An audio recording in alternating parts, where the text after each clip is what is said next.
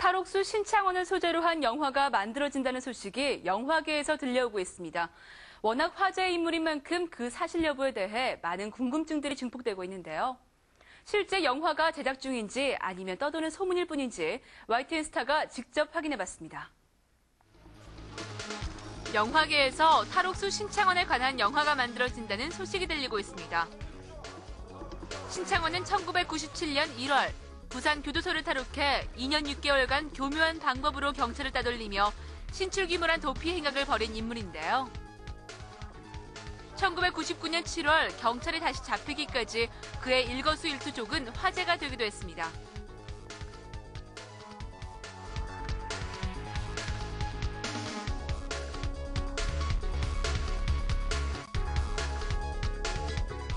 실존하고 있는 인물인데 여러 가지 좀 극화될 수 있는 그런 요소들이 많은 인물입니다. 뭐 탈옥해서 그 후의 행적들, 그 수많은 여자들과의 그런 연문, 어, 그리고 도피 과정에서 그 그가 남긴 그 수많은 메모나 이런 거를 솔직히 일반 범죄자라 보기에는 신창원 씨는 굉장히 매력적인 인물인 게 확실하잖아요.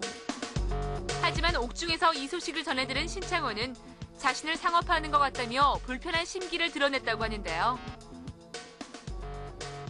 신창원을 소재로 한 것으로 알려진 시내 이천에 거북이가 달린다라는 영화. 영화사 관계자와 전화로 사실 여부를 물어봤는데요. 기존에 이제 보도자를 통해서 예, 그 신창원 씨 소재의 영화라고 이제 얘기가 나왔었잖아요. 그 신청원 씨랑은 연관이 없고요. 뭐 정확하게는 모르겠지만 저희가 공식적으로 낸 보도자료는 없습니다. 아직까지요. 아 그럼 영화 소재는 신창원 씨 이야기가 아, 아닌가요?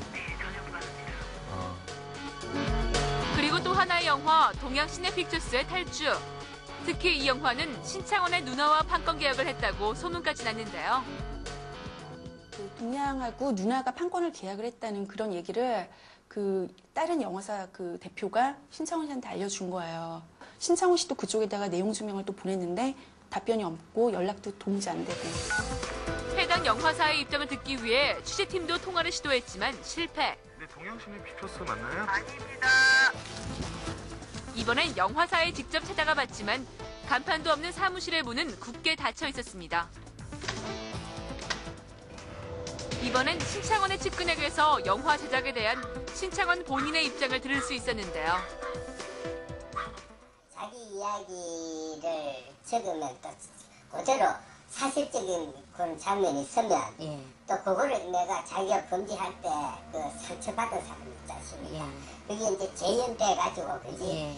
또 TV나 뭐 예. 그저 영화로 찍혀 나왔을 때또 예. 충격 안 받습니까? 아, 그것 때문에 갑니다. 아. 그 야가 착함이 착하기는 예. 굉장히 착하고 또 생각이 깊지. 피해자들에게 또다시 상처가 되길 원치 않아서 영화 제작을 반대한다는 신창원. 그를 소재로 한 영화 제작 여부에 영화 팬들의 관심이 집중되고 있습니다.